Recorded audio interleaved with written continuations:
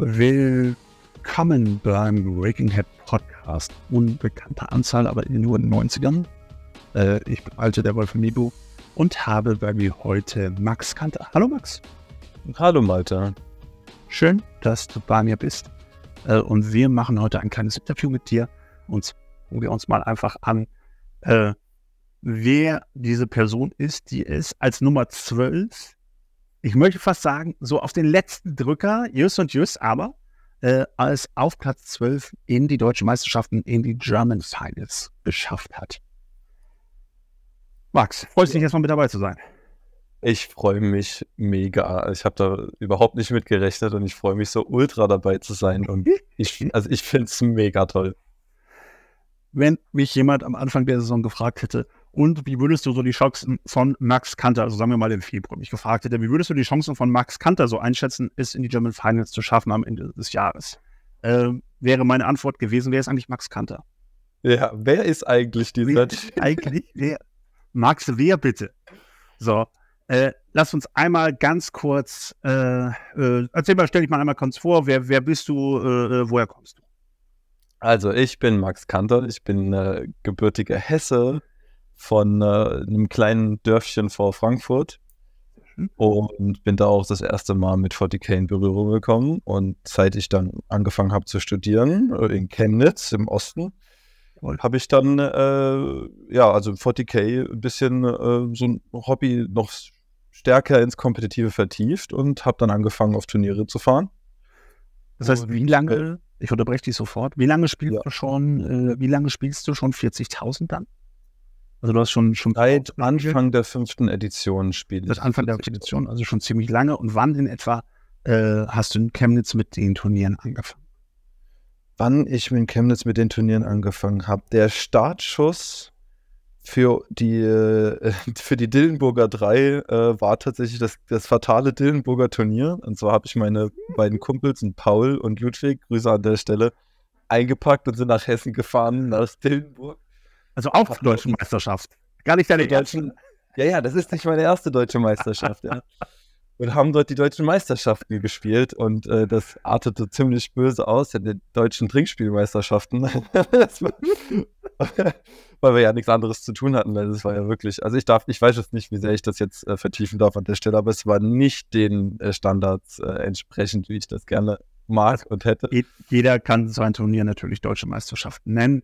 Äh, du fährst jetzt auf ein Turnier, da sagen wir mal, da steht große Teile, wenn nicht fast die gesamte deutsche Community dahinter.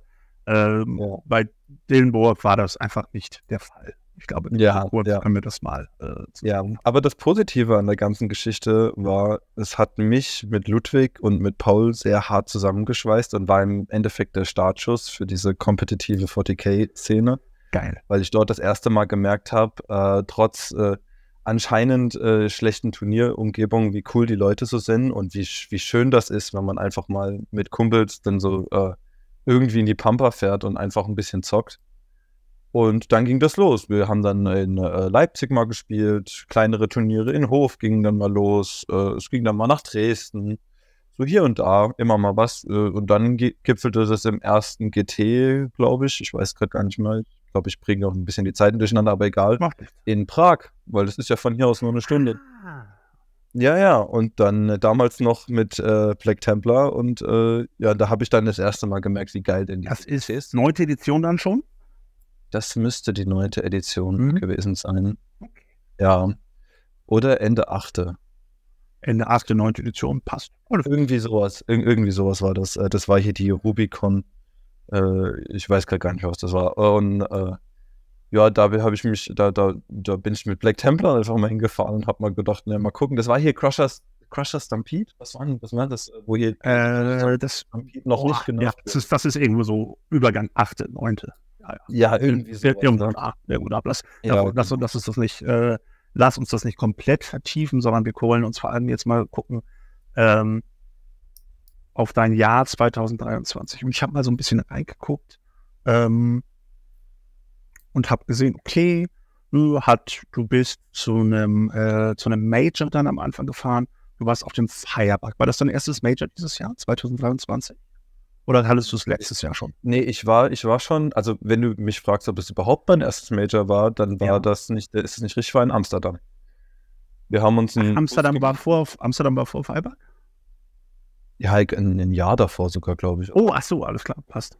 Ja, ich weiß, ich weiß, also wie gesagt, ich komme manchmal mit Zeiten durcheinander, aber wir haben uns einen Bus gemietet und sind dann einfach mal mit der kompletten Truppe nach Amsterdam gefahren. Geil. Okay, das, das, ist natürlich richtig gut. Warst du dieses Jahr auch in Amsterdam oder war das letztes Jahr? Das müsste letztes Jahr gewesen sein. Okay, war letztes Jahr dann. Okay, passt.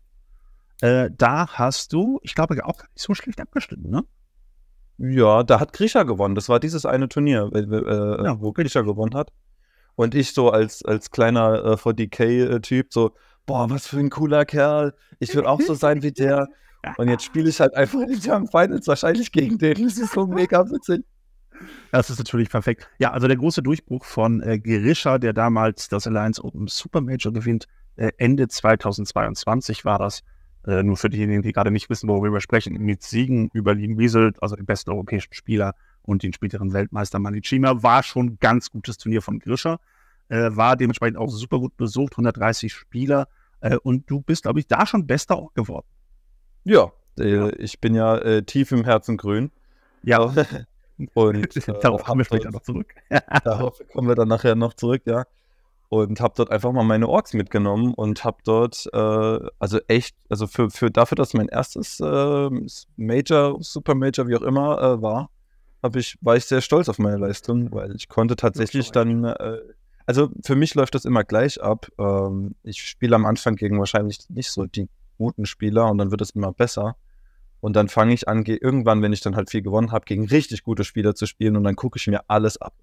Ich gucke mir einfach alles an, was die machen und versuche daraus zu lernen. Und das war das erste Mal, wo ich in diese Riege, in diese Leute, die überhaupt Kontakt zu diesen Leuten geknüpft habe, wo ich äh, tatsächlich gegen WTC-Spieler spielen konnte, auch mal gewonnen habe und gegen WTC-Spieler auch mal verloren habe gegen WTC-Spieler. Aber ich konnte immer von WTC-Spielern lernen. Mhm. Dino Kuhn, auch exzellenter niederländischer Spieler, einer der besten, äh, gegen den du dann da verloren hast. Äh, ja, auf jeden Fall schon mal super interessant. So, und dann hast du dich entschieden, also bei dir, das kann man glaube ich so sagen, war auf jeden Fall das Feuer geweckt. Äh, wir hören es ja schon, der Bus in die Niederlande von Chemnitz. Äh, und dann begann äh, unsere deutsche Turniersaison 2023 und beschreibe uns ein bisschen, wie lief die Saison insgesamt für dich ab? Hast du, äh, wir wissen am Ende, das können wir schon mal versprechen, wird's gut. Äh, wie war der Anfang? der Anfang, ähm, also der, mein Feuer war halt da, ne? Und der Anfang war, wie kriege ich so viele äh, Spiele wie möglich ran?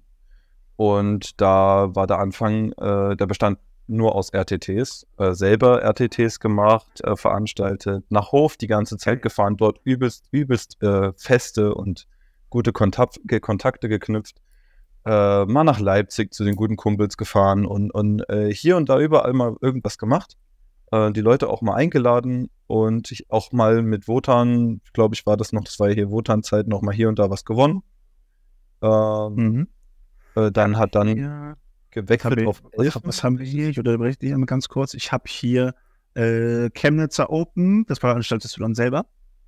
Ja, das veranstaltet, ver veranstaltet die Dillenburger 3, äh, Jawohl. die, die veranstalten das selbst, ja.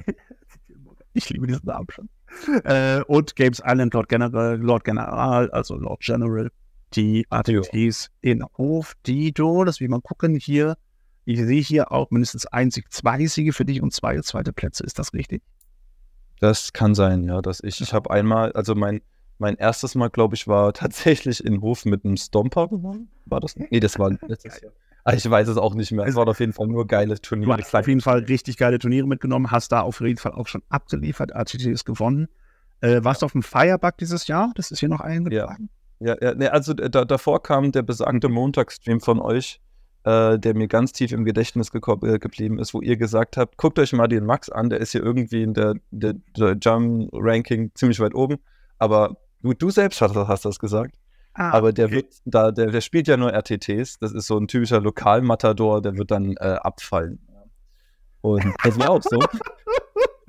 so, so. Weißt du, so ein typischer lokaler Typ, der einfach da seine, seine, keine Ahnung, zwei, zwei Bundesländer da bedient und dann ist gut. Ja. Ja, das ist Wenn man den. Ja, und habt ihr zu mir gesagt, da habt ihr dann quasi gesagt, ich habe mir dann das immer angeschaut und gesagt, Leute, also so jemand muss halt dann erstmal lernen, auf den großen GTs zu äh, performen. Und dann kam Firebug. und dann hast du es allen und dann äh, hast du es allen schon mal, äh, nee, obwohl, nee, Firebug noch nicht so richtig gezeigt. Nee, Firebug war nicht so richtig. Ich habe nämlich eine, ich habe nämlich äh, die haben mir kurz davor Elfen gekauft und hatte überhaupt keine Raps drin, gar nichts und war überhaupt nicht vorbereitet und habe einfach mal mit einer komplett neuen Armee angefangen, Firebug zu spielen. Ja, okay. Ja, lief ja mäßig. Gut, also erstes großes Major läuft mäßig, lokal läuft es gut. Äh, ne, bist schon im Stream, sind schon auf dich aufmerksam, sagen, ne, muss ein bisschen über das Lokale hinaus, passt. Ja. Äh, und dann gehen wir so ein bisschen weiter durch. War das äh, Nurglemania Half-Team-Turnier, war das dieses Jahr? Das Teamturnier in Nurglemania? Ja, und das letztes Jahr. Das war, das war, das war dieses Jahr, glaube ich. Das war dieses Jahr. Ja. Ne, da auch nochmal gewonnen, da auch wieder Eldari gespielt. Also man merkt, ja, je länger das, das Jahr fortschreitet, desto besser wirst du einfach mit Eldari. Genau, also mit der zehnten Edition habe ich mir dann gesagt, Eldari it is. Probieren wir so viele, äh, für so viele, äh, so viele Raps reinzukriegen, wie es geht. Und dann, ja, dann halt, da ging das halt los, wo du halt dann die OP-Regeln einfach anwenden konntest und dann wusstest du, was du machst. Und dann war das ja, man muss dazu sagen, Eldari war zu der Zeit ein sehr großer Selbstläufer. Ja, also mhm. wenn du nicht mit einer anderen Armee genau dagegen getaggt hast, dann brauchst du eigentlich nicht viel Skill, um damit zu gewinnen. Fred. äh, und das kulminiert für mich zumindest äh, darin, dass du es nach Berlin schaffst, so mal Huxley's Open, da auch ein gutes Ergebnis auf jeden Fall ablieferst.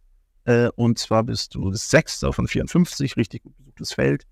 Äh, mhm. Und ich erinnere mich halt immer unglaublich gerne an unser äh, Biergartengespräch, das wir noch am gleichen Abend das, haben. Das gute Biergartengespräch, was mir mein Leben lang in Erinnerung bleiben wird, das war so geil. Das war so gut. Ah, so, richtig gut abgeliefert mit Eldari, ähm, Sachsen-Geballer gerade gewonnen, Huxley's Open jetzt. Und ich könnte so ein bisschen gespottet haben, ja, war ja ganz gut für ein ja. bisschen Gespiele mit Eldari. Und ja, äh, ja ich glaube, ich muss dir deine Antwort nicht erzählen, du weißt selber, was du geantwortet hast. Ja, also wir, wir können es ja mal kurz auch für die Zuschauer zusammenfassen, weil das ein wichtiger Teil war.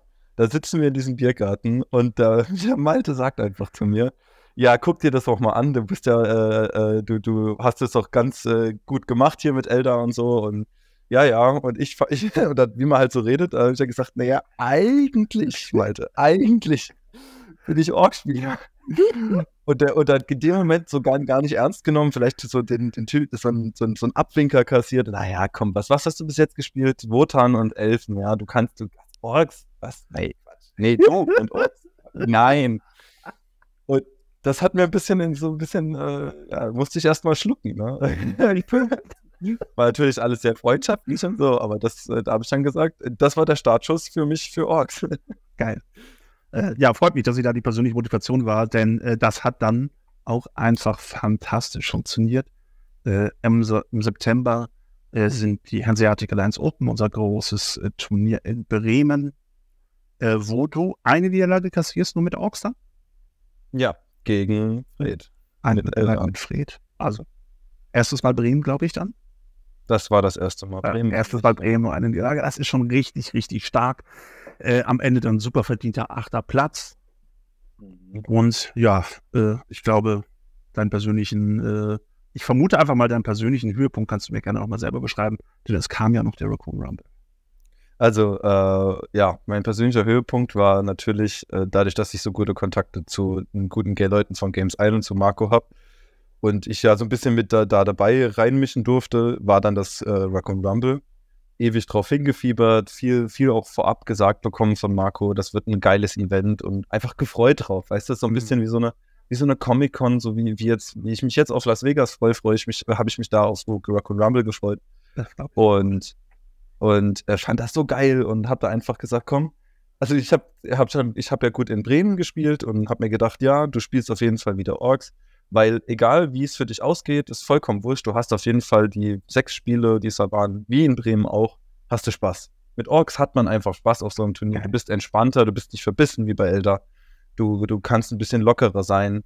Und ähm, habe das auch gemacht und habe einfach das genommen, was mir so instinktiv gesagt hat, äh, das will rein und das gefällt mir. Ja? Und äh, natürlich auch äh, das gespielt, was, was gut war, nat natürlich auch äh, Hintergrundrecherche gemacht, was bei Ork so in Amerika gerade so ein bisschen gut geht. Mhm. Und äh, mir meine eigene Liste daraus so ein bisschen zusammengebastelt.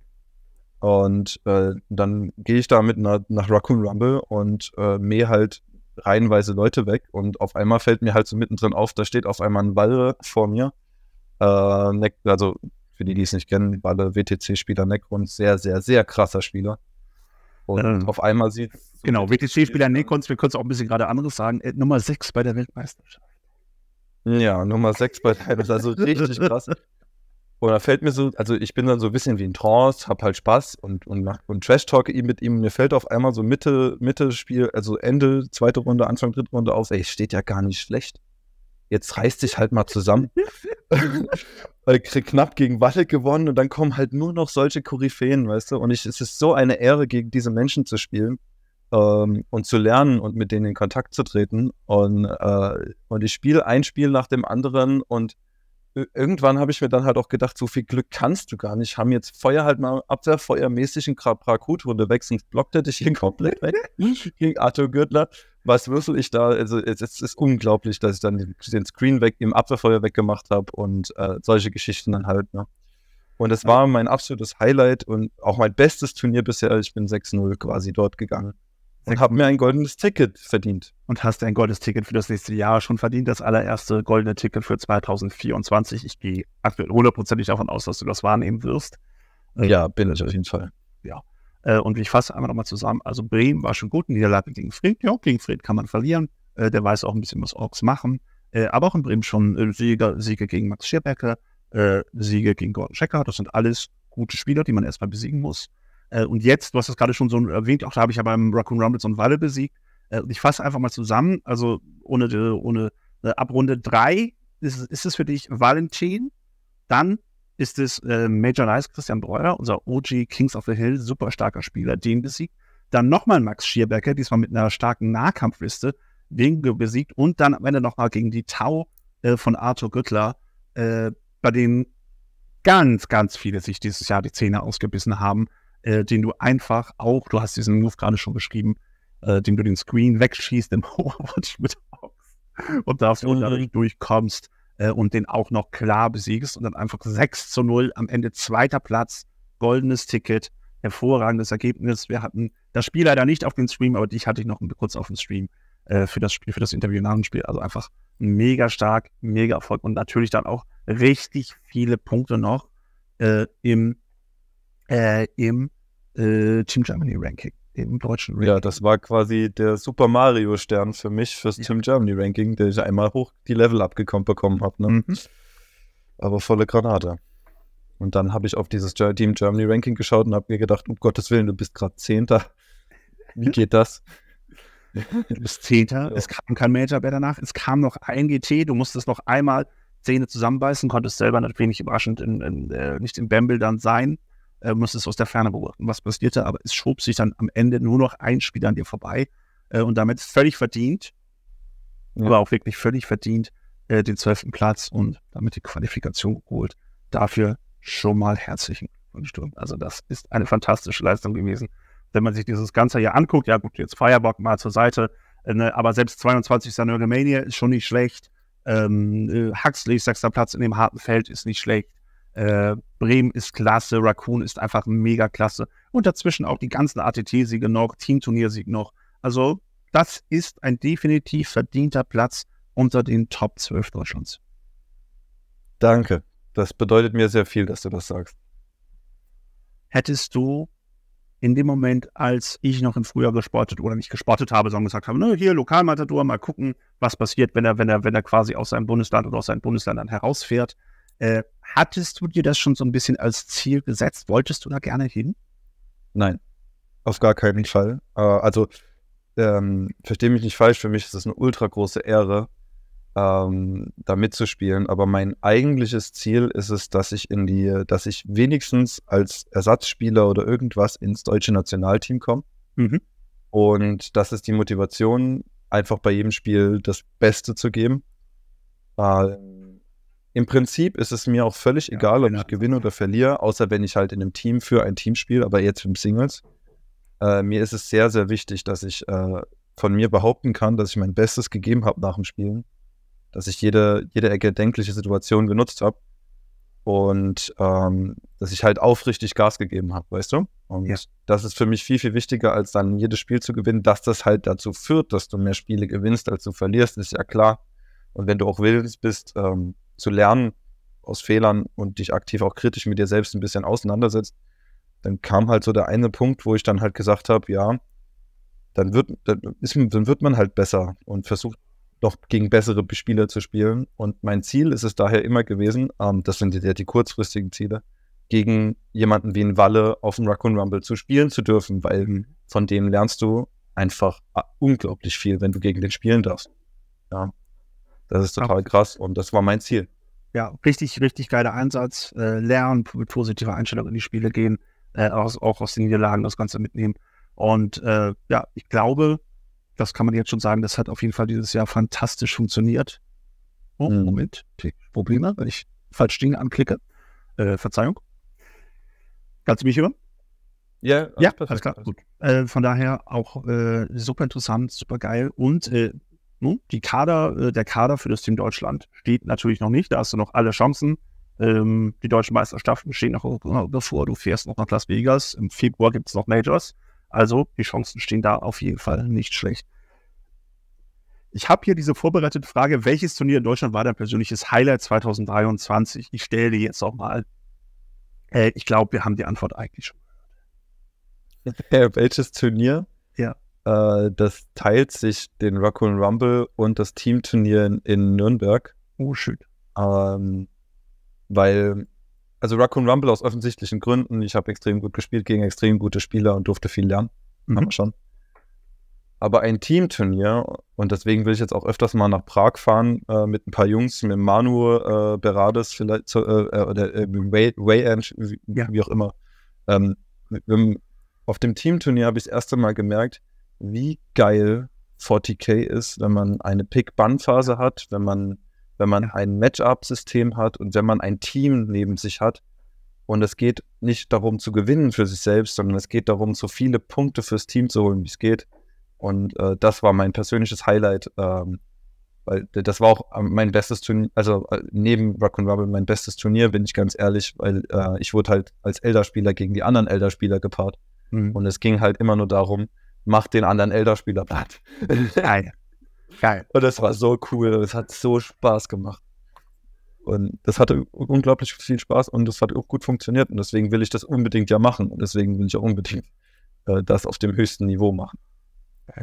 Ja, finde ich super, finde ich äh, mega sympathisch. Und äh, ja, für diejenigen, die noch nicht Team gespielt haben da draußen, Leute, schnappt euch mal, es gibt so viele Teamturniere dieses Jahr, tatsächlich dann auch mal in Deutschland oder im nahen äh, Ausland. Schnappt euch einfach euren Kumpels, fahrt mal dahin, äh, gebt euch eine kurze Einführung, die dauert fünf Minuten, dann habt ihr das Prinzip verstanden äh, und spielt einfach Team, weil es macht, es gibt, also 40.000 alleine Singles, ich bin voll bei dir, macht Spaß, aber nichts geht über Team. Nichts Ja, Team. Team ist so krass. Aber wir wollen trotzdem bei dir bleiben und jetzt nicht auf Ja. äh, mögliche zukünftige Teams rübergehen. Hast du ein Spiel, das du beschreiben würdest für 2023? Jawohl, äh, das war mein Liebling. Oder hast du vielleicht sogar einen Spielzug, wo du sagen würdest, jawohl, äh, auf den blicke ich einfach zurück, der ist mir im Kopf geblieben. Ähm, ähm, also als Spiel, was mir am meisten in Erinnerung bleiben wird, sind die letzten drei Spiele beim Raccoon Rumble. Äh, nur kurz von, von wie, wie sich ein Org-Spieler so ein Spiel vorstellt.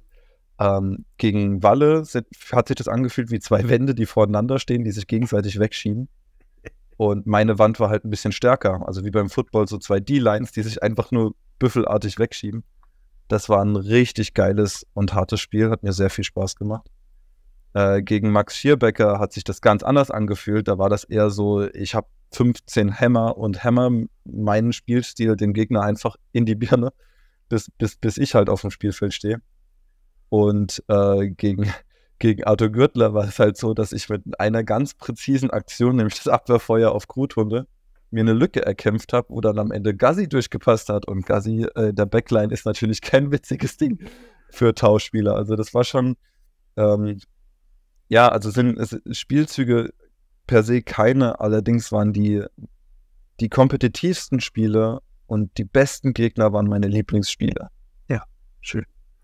Das war dein schwierigstes Spiel? Also, wer war dein herrschester Gegner? mein äh, härtester Gegner war auf dem Huxleys ähm, Mars mit Necrons. Oh Da habe ich das erste Mal gemerkt, also neben Fred auf neben Fred in Bremen, habe ich das erste Mal gemerkt, wie groß, also ich, ich betrachte mich selbst jetzt als keinen schlechten Spieler, aber wie groß der Skillunterschied noch ist zwischen jemanden wie Mars oder Fred und mir und wie viel ich noch lernen kann. Mhm. Und ja, das waren so die, das war das härteste Spiel, weil die halt einfach ihre Armeen halt anders unter Kontrolle haben. Ne? Das ist, das ist einfach so und das ist total krass, das mitzuerleben. Und ähm, daran habe ich mir ein Beispiel genommen. An, an diesen beiden Leuten. Äh, langfristig will ich irgendwann so gut wie die beiden werden.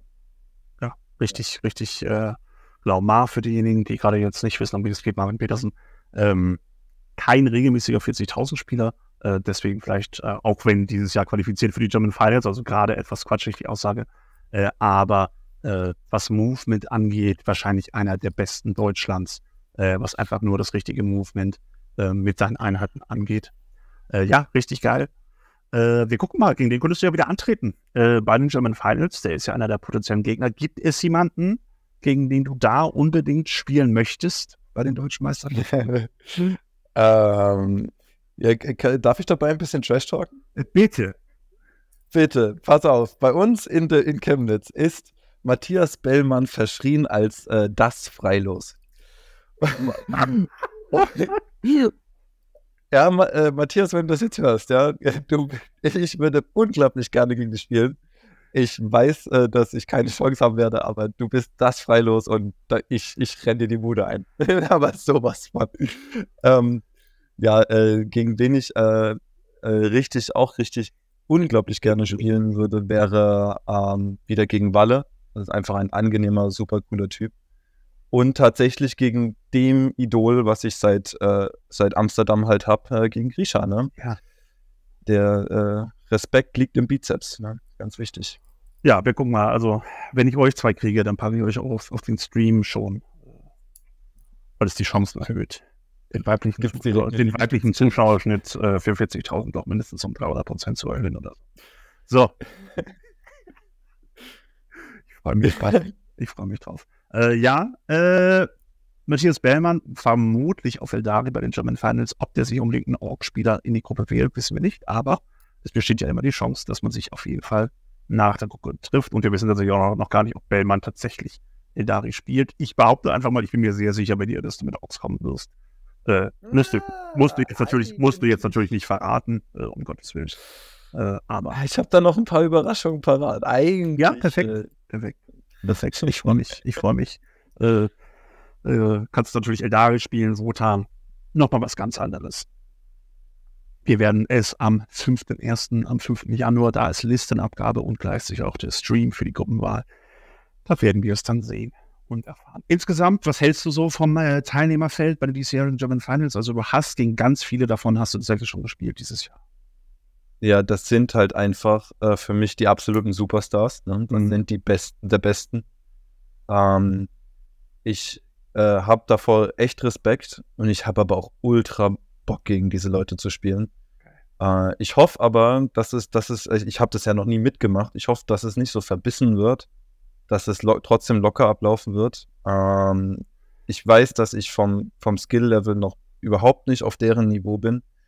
Aber umso cooler ist es, dass ich da mitmachen darf, ähm, weil ich dann quasi für, für halb Sachsen dann quasi die, die, die äh, Momentaufnahme dann äh, abbilde und quasi sage, äh, das kann, konnte ich aus diesen Spielen lernen, das konnte ich machen. Und äh, darauf freue ich mich ganz sehr. Also du para parallel bist du der Paladin für Hessen und für Sachsen bei den German Finals dieses Jahr. Habe ich das Ja, naja, also in Hessen, also in, äh, die, der, die, Kon- der Kontakt zu Hessen ist eher, äh, da ist nicht die kompetitive, Okay. kompetitive Szene, sondern da sind eher meine, meine Kumpels, die dort einen kleinen Club haben. Äh, Grüße an der Stelle. Ja, aber das macht ja, Äh, wir sind ja alles, alles ist ja alles eins bei 40.000 und fertig. Ja, ja, die, da, dieses ähm, sehr wichtige Leute für mich, die mich zu dem Hobby getrieben haben. Ja, eben. Das ist ja auch immer das Entscheidende. Äh, Ja. Wenn du dir das Feld anguckst, gab es für dich eine Überraschung? Also hättest du, hättest du gesagt, ach, okay, cool, der ist, der ist drin, das hätte ich nicht gedacht.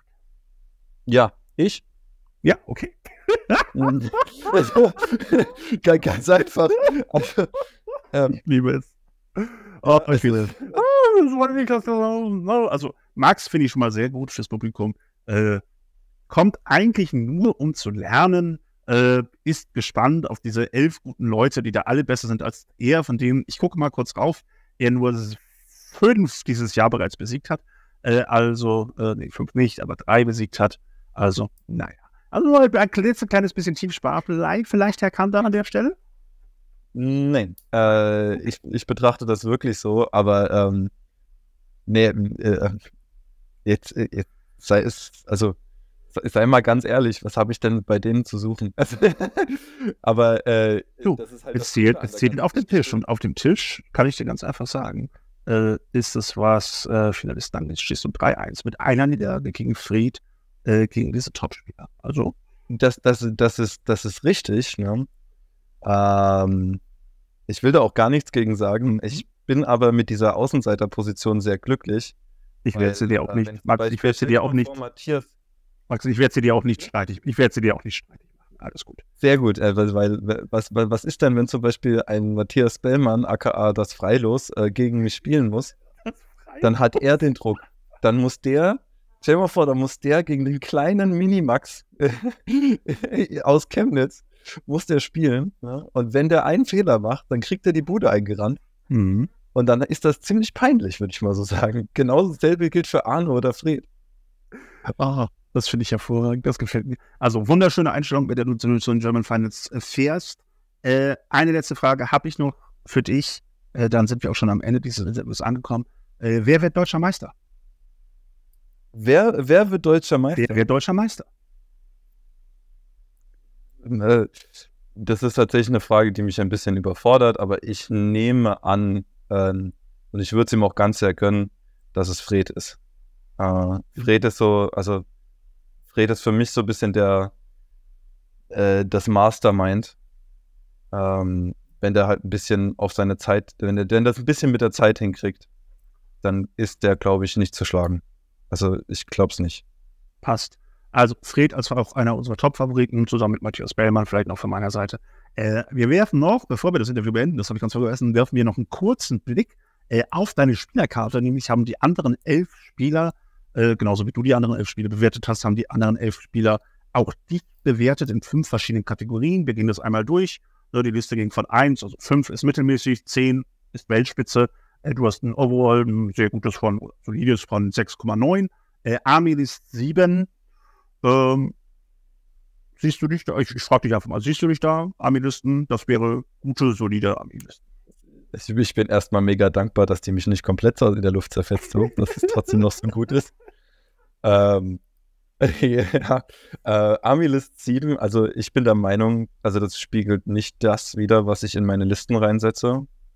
Äh, ich bin der Meinung, ich gucke mir da was die Ork-Szene angeht. Ach mhm. Gott, jetzt habe ich es verraten. Was die El Elders. Ja, was die, was die Atari-Szene angeht, mit denen du dich äh, das auf dich Entschuldigung. Also, alles gut.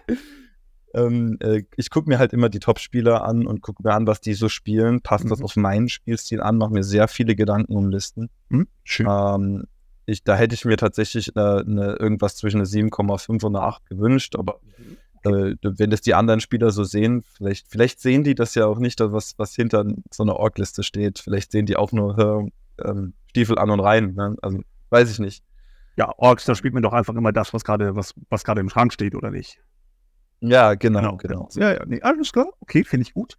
Äh, Micro und Makro, man muss fairerweise dazu sagen, du bist tatsächlich so frisch in der Topspitze der deutschen 40.000 Szene, dass die wenigsten, die dich da bewertet haben, die jetzt persönlich gegen dich gespielt haben oder das gesehen haben, 6,1 äh, und 6,3. Das ist, ne, wenn man sich nichts unter Micro und Makro vorstellen kann. Also Makro, dein Gameplan im Allgemeinen, Makro so ein bisschen, wie du es im Detail umsetzt, wie bewegst du deine Modelle dann tatsächlich, wo drehst du nochmal die Waffe ein, um nochmal Deckung zu bekommen, äh, wo benutzt du den Consolidate Move, um nochmal ein Modell abzubinden.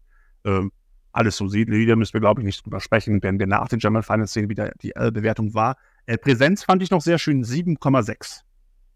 7,6, ja, das ist natürlich, äh, also ähnlich wie Grisha bei mir einen Bizeps-Bonus bekommen hat, äh, ist wahrscheinlich bei mir der, der War-Bonus. ähm, also wenn du, wenn ein Ork-Spieler halt keinen anständigen Ork ra äh, rausschreien kann, äh, dann gehört er einfach nicht aufs Feld. Wir, wir spielen schon 40.000. Also ein Org-Spieler, der nicht War schreit, den will ich auch überhaupt nicht auf meinem Turnier haben, muss ich ganz ehrlich sagen. Naja, also es ist, ich kann mir schon vorstellen, dass es nervig wird. Ne? Deswegen habe ich auch nicht in Raccoon Rumble alles zusammengebrüllt. Aber Ach, du hast dich zurückgehalten mit deinem Warschrei. Ja, na, nee, nee. Ach, also ich habe okay. nicht bei meinen, weil ich habe nicht jedes so nicht Spiel War wahrgenommen. geschrieben. Also, du hast dich in jedem Spiel Nee. War geschrieben. Ja, das ist okay. Ja, nee, also weil ich, ich will ja auch jetzt nicht, äh, stell dir mal vor, da ist irgendein Turnieranfänger zufälligerweise neben mir und auf einmal rastet einer am Nebentisch halt aus, ne, der arme Kerl. Denn, also tut mir ja sehr leid, ich bin ja ein lieber Kerl, ich will ja nicht, ich will ja nicht die Leuten Angst machen. ne? Also Präsenz, das heißt, wie stark lässt er sich vom Gegner beeindrucken, äh, wie stark lässt er sich nicht vom Gegner beeindrucken. Da bin ich, glaube ich, komplett beim, beim restlichen Teilnehmerfeld. So irgendwas 7, hoch, äh, Richtung 8 hätte ich dir auf jeden Fall gegeben. Äh, Speed, bist du schon mal in Urprobleme gelaufen? Äh, ja, äh, interessanterweise Oh ja. nur gegen einen einzigen Spieler und das die ganze Zeit, gegen Max Schierbecker. Ähm, Stimmt, richtig. ja, vielleicht liegt es auch ein bisschen daran, dass das ein ultra nicer Dude ist, mit dem ich mich während dem Spiel halt über alles Mögliche unterhalte. Ei, Aber äh, das- passiert halt leider. Ja, aber ansonsten habe ich eigentlich nie Pro Zeitprobleme. Ja, also perfekt. Gut, Jim Nummer 5, dementsprechend auf jeden Fall so die Wertung da. Äh, insgesamt gucken wir uns diese Karte nochmal nach den German Finals an. Schau mal, was daran so stimmte. Äh, auf Max Schirbecker wirst du dieses Jahr, dieses Mal leider nicht treffen. Der hat sich leider nicht qualifizieren können. Das heißt, du bist unser einziger Max äh, diesmal in den German Finals. Äh, aber es wird auf jeden Fall ein sehr gutes Turnier. Ich freue mich sehr darauf, dich in den German Finals zu sehen. Ich hoffe ja persönlich mit Orks, damit wir einen Orks-Spieler haben, äh, oder einen Spieler, der sicher Orks spielt. Und da freue ich mich dann drauf. Das zu sehen. es wird auf jeden Fall spitzohrig. Es wird auf jeden Fall spitz. Das, das, das ist okay. Das nehmen wir mit. Max, ich sage schon mal vielen Dank für dieses Interview. Äh, letzte Worte von dir. Möchtest du noch jemanden grüßen? Möchtest du noch was raushauen? Ja, also ich äh, möchte drei ähm, Parteien sehr, sehr, sehr lieb grüßen. Einmal ähm, die, mein, die Rodenbacher, der Club in Hessen, aus dem ich stamme, die das Ganze irgendwie, keine Ahnung, losgetreten haben damals, die mich ganz herzlich ausgenommen haben. Äh, da muss ich auch immer ein bisschen anfangen zu heulen, wenn ich an die Zeit zurückdenke, weil das war einfach, das war so dieser Urgedanke von 40k, das war so schön. Ja. Ähm, an äh, meine Chemnitzer Jungs, die mich unterstützen, die mit mir Trainingsspiele spielen. Und äh, zu guter Letzt, und das ist auch äh, mit so das eines der wichtigsten Sachen, meine Familie, meine Freundin, äh, die mich unterstützen, die das Ganze ertragen. Ne? Das ist immer gar nicht so selbstverständlich. Das sollten sich viele auch mal Gedanken drum machen. Und äh, da bin ich auch ultra dankbar. Und da Grü Grüße gehen auf jeden Fall an all diese Personen raus, die felsenfest hinter mir stehen, die eine quasi eine Death Wall hinter mir bilden. Max, dann sage ich nochmal vielen Dank. Wir sehen und hören uns spätestens wieder am 5.1. Leute, schaltet ein am 5.1. Dann werden wir erfahren, in welcher Gruppe Max Kanter äh, landet äh, und ob Matthias das Freilos Bellmann ihn tatsächlich in Gruppe 1 wählen wird. Äh, all das erfahren wir am 5.1. Max, vielen Dank nochmal. Bis dahin. Tschüss. Vielen Dank. Ciao.